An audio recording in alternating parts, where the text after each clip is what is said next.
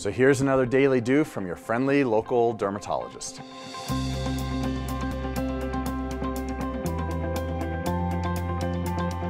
All right, so a lot of people think that, well, if I just have a little skin cancer, it's not gonna hurt me, it's not gonna harm me, just leave it alone.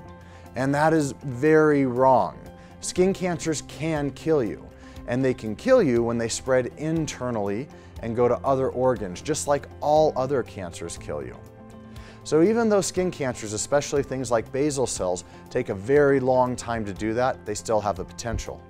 Squamous cells have more potential, and melanoma cancers have even more potential than the other two.